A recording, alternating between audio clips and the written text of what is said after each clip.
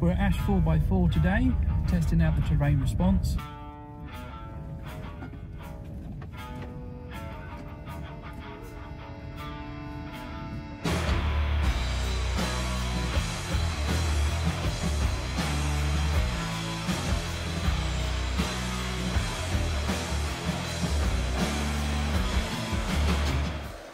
Please don't forget to like and subscribe to see all of the terrain response modes reviewed.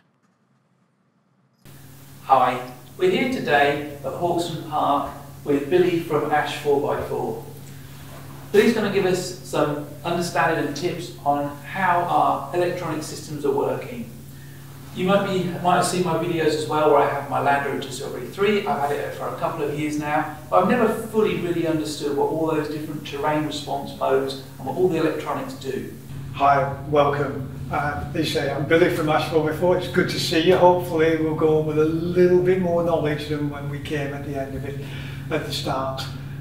We do 4x4 driver training here, we also do 4x4 experiences and we encourage groups, uh, 4x4 groups to come and have the day with us and have a bit of fun, test the vehicles and see what they can do in the controlled.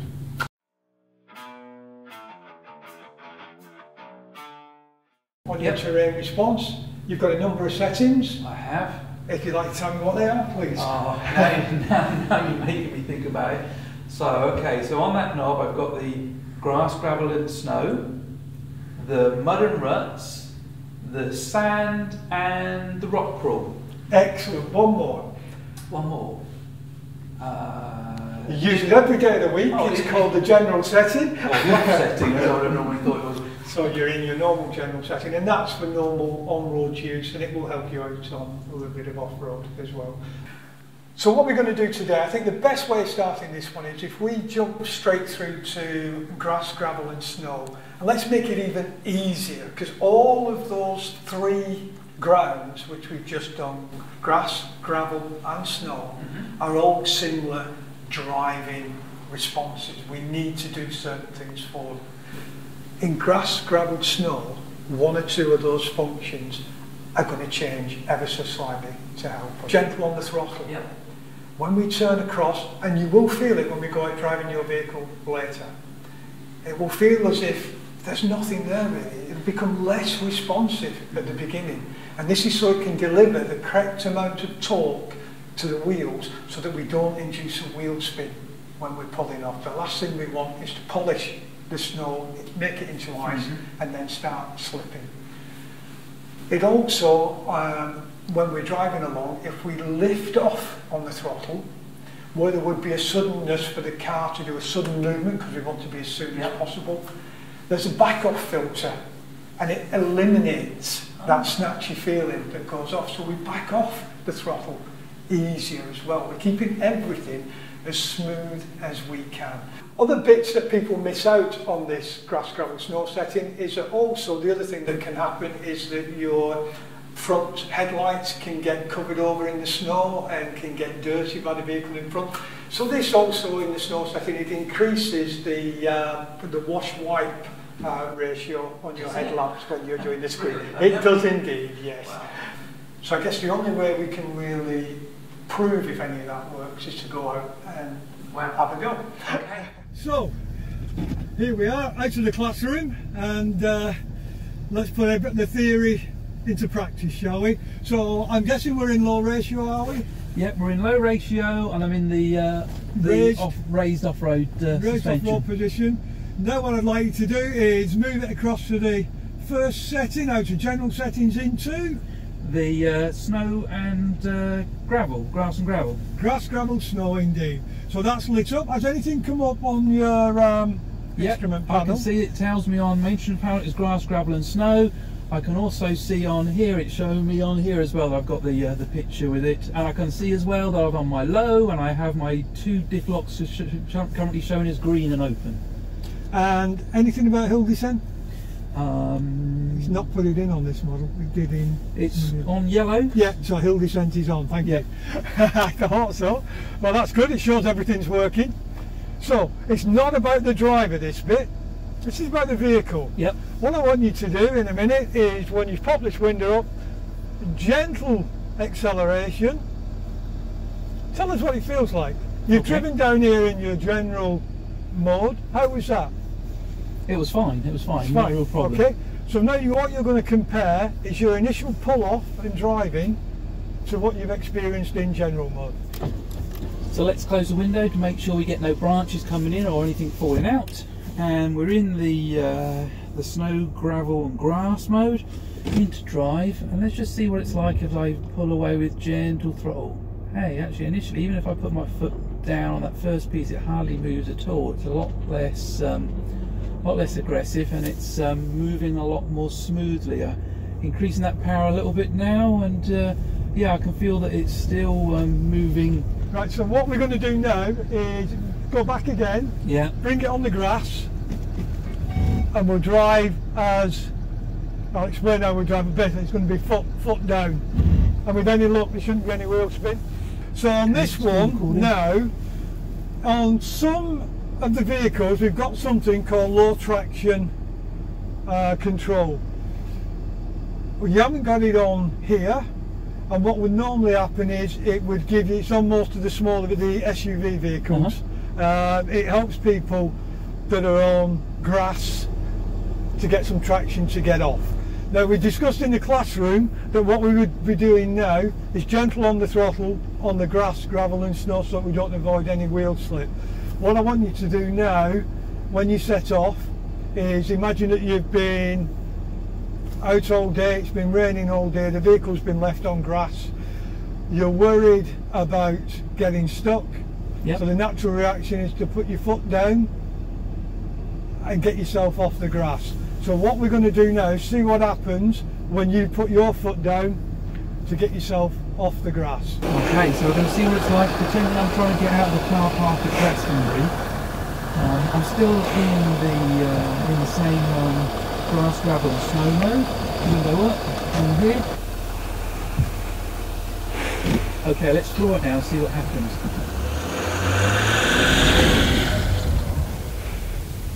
Little tiny, tiny bit of spin there, but virtually nothing. It was really, uh, again, um, smooth, no problems at all. So what we had there was from it being floored straight away, there was no wheel spin whatsoever as he pulled off. Once we got the revs up and we got a little bit of traction on board, we saw that we did get a little bit of wheel spin on uh, the rear offside wheel, but it was corrected very quickly by the vehicle braking hard to pull it back into line and get the traction going back through both vehicles. So I guess you can say that so far it seems to be doing what we said in the classroom. We're now going to talk, now that we've mastered grass, gravel, snow, we're going to talk about mud and ruts. So, how do you drive in mud and ruts? Okay, so um, We'll stick with mud, make it easier. So again, for me, it, it very much depends on, on on what the situation with the mud. I mean, if I'm thinking back to my older vehicles, obviously it's important to have a good set of tyres. Um, otherwise, I'm pretty much going to get nowhere. Um, Don't divert me. We're not doing tyres, we're not doing vehicle. Terrain response. but, um, um, normally, I'd say that I actually want to have quite. Uh, I want to have quite quite a large amount of power. I want to be able to sort of push through that mud. I want to be able to a little bit of wheel spin or slip to make sure I'm getting the mud that's going to be sort of flying out from that tyre to actually allow me to get some traction and potentially get the, the wheel down to something that maybe is a bit more solid underneath. And that's pretty much what we want to do with our setting. So if we turn the dial around to mud and ruts, and what have we got straight away? Again, at the beginning, your throttle response will be very similar to that of grass, gravel and snow. It'll be a 20, 25% back off, so it's a smooth pull off. Once we've pulled off, you'll get a more aggressive throttle pedal again to work with. Mud and ruts, I have a nickname for it when I'm taking people round to get people to remember it. I call it the cannabis setting. The cannabis setting. The vehicle is chilled out and relaxed. Remember we spoke earlier about um, moving from general settings to uh, grass, gravel and snow and it moved up to a seven. Now it's down to a three. And there's a number of reasons why it's got to go that way. We know when we're driving through mud, especially thick, gloopy mud, we know that the vehicle is going to slide from side to side, that wheels are going to spin, and that we want to push through. We're not going to go through in a nice controlled straight line. That's at odds with what the vehicle's been built to do. So your dynamic stability control, if we left everything in general setting, just at the moment you want power and you want to push through, dynamic stability control is going to jump in and say, I've saved you. He's going to pull the throttle pedal. Has it happened to you? Yeah, it has, it has. I think, I'm going, I'm going. No, it's not going. And I think it's even worse when the crowds around that are watching you are telling you to go for it, more throttle, more throttle, and your foot's on the floor and you can feel the engine dying. So that's dynamic stability control cutting in. What does dynamic stability control do, I hear you say? Prevents understeer and oversteer. What does that mean in real life? It's going to start applying the brakes, it's going to start cutting the power because it doesn't want you to crash the vehicle or danger endanger yourself. So in mud and ruts, we need to pull that back a little bit. We need to tell it to chill out and relax a bit. So it's going to allow the vehicle to move, allow the wheels to spin a little bit more, um, and overall try and get us through there. Again, the throttle opening um, is more responsive when we got when we lift off the throttle. We don't get that sudden when we're in the grass gravel snow where it's slow yes. and gentle. It's a little bit more aggressive now there just to, to, to, to lift us off. The sensitive to slip on the on the wheel slipping again it's chilled back it's dialed back the whole car is chilled hill descent control is on and you will find that there will be slightly more aggressive braking with hill descent control on, um, just as an extra feature of it. And when the brakes do come on in the mud, again, it'll be more of a decisive brake coming on to try and cut through the mud to give you the grip that's needed to get through on that side of it. There we are. Okay. So you've so, now got mud and ruts. Let's go and try it out now, see how that's going to work, see if we can get some wheel spin, I guess. So we're now going to move across to our next setting on your dial, which is mud and ruts. Mud and ruts. So if we turn to that, you'll get a few instructions on the dash. What is it telling you now? Mud and ruts, program selected. Did it tell you anything on gears or anything there? Uh, no. No. Okay, so you will be setting off in first gear in mud and ruts as normal. Our hill descent is on again, and it's showing obviously you've got the graphics up there as well. So again, this time, it's not about the driver, it's about the vehicle first and foremost. What do we expect to happen in mud and ruts? I'll give you a clue, this is the cannabis setting. Yeah, so it's going to be chilled out. It's going to be chilled out indeed. We'll leave dynamic stability control on because the vehicle, we want to show that the vehicle has altered that slightly as well. And unfortunately, we don't really want to see your driving prowess at this stage. Okay. So we're going to let the vehicle do the work um, when you're ready, pop it into drive, gentle, just a little touch of throttle, take your time going up the hill and we'll be taking the hill on the left. Okay, Good luck. Thanks a lot. right, let's see how that goes as well. So we're in the uh, mud and ruts, we're into drive and we're going to just drive it smoothly and slowly up here round to the left he said as well. So let's see how this works. Oh, he's telling me to go nice and steady and slow, so we're just on that real slow and steady, just like that. Oh, and we're going round. Oh, it's quite a steep hill we've got to go up, and there's some ruts in there as well. Hopefully that branch doesn't get my uh, roof rack with a spare wheel on the top. Let's just see where we're going with this here. We're going slowly and steadily. I've got my wheel slightly to the side. We're just checking with Billy. Let's make sure that those are there. Interestingly, Interestingly, my uh, diff locks have come in and shown that they're locked as well. So how's that for you? Oh, so far so good. I could see that the uh, diff locks came in both on the centre and the rear. I could feel that as I was just getting to here though, I was losing traction. I could feel the wheels were starting to, well, or more than starting to slip. They were, they were starting to so, be difficult to carry on. The reason that is, is if you have a look at these tyres, and I don't want to digress away from the terrain response which you're dealing with, but they're all interlinked in a way. As we started coming up this hill, the tyres have filled up with mud. They started to lose traction with the ground. We've kept the throttle low, which means we're not going very fast, which means that the tyres are now full of mud on the rear and on the front, which is what's triggered the traction control to come in oh, yeah. very early on and start working to allow the wheels to spin a bit and then braking the wheels and getting that drive moving across. So what we're going to see in a minute when you set off again is probably a little bit more of what the car really can do in mud and ruts. It's chilled, it's happy, but it will be trying to move the drive across the axles, putting the lockers in and trying to get you to the top of this hill to the best of its ability. We still want to see what the car can do as opposed to the driver at this stage. So I'm going to ask you to pull off from here very, very gently. I don't want a lot of throttle at all. Okay. It's a very gentle throttle and see how we get on. Okay, gentle throttle. Gentle throttle, just a little. Okay, so let's see how this works now then. So instruction from Billy, we're going to go for gentle throttle, steering is straight, we're going up that quite steep hill here. I can feel that I've got still some some some spin going on.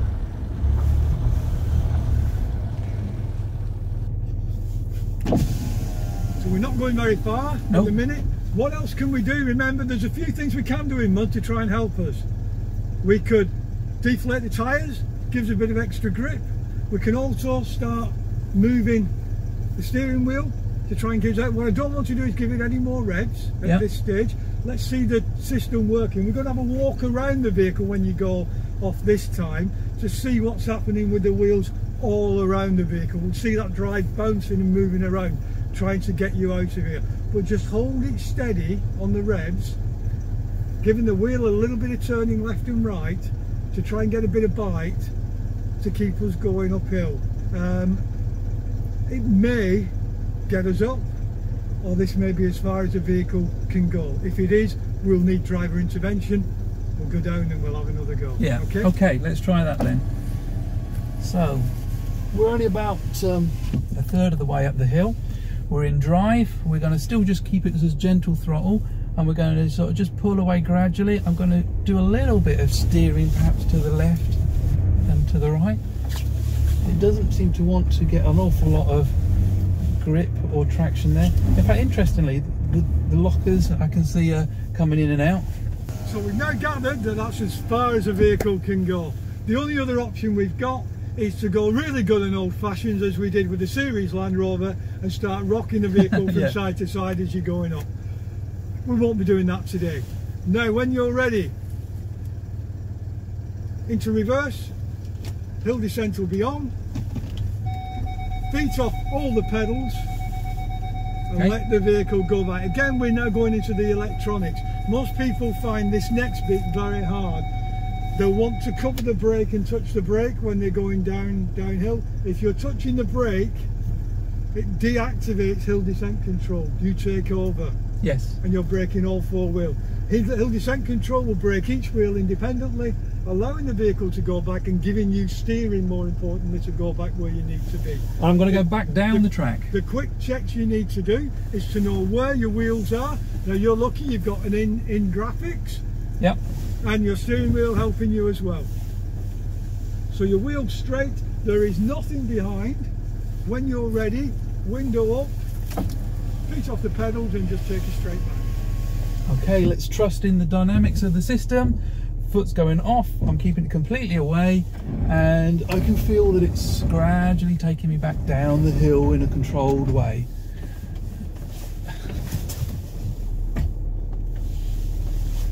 Okay, If you jump out a second, switch off and jump out a second, we'll go up and have a look at what's happening there.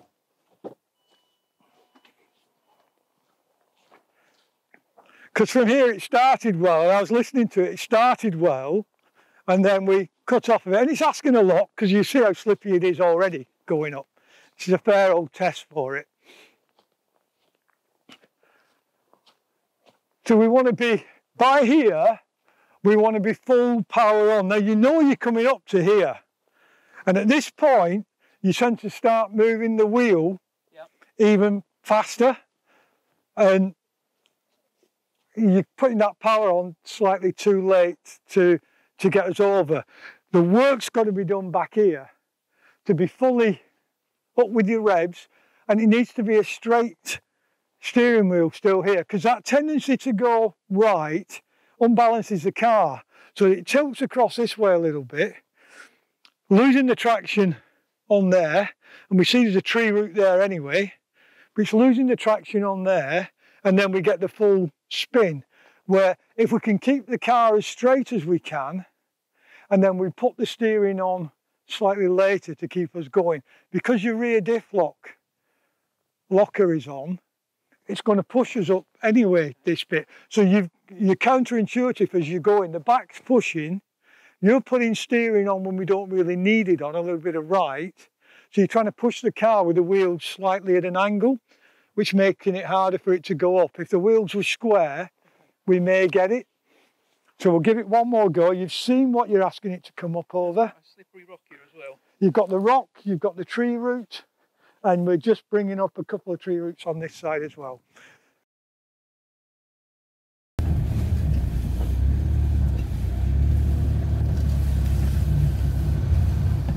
Here we go. Right, third time lucky. Let's see if we can actually get right the way uh, to the top this time. Here we go. Give it some power. Going to keep the wheels straight as we can this time.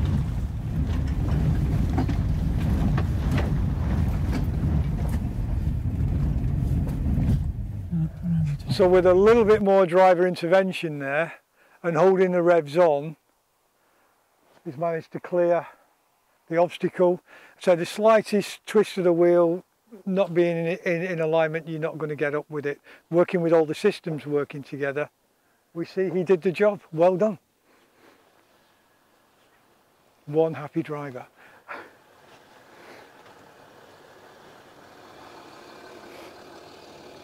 How was that, Billy? It felt good to me that time with a bit of extra power and a bit more, uh, a bit more go to it.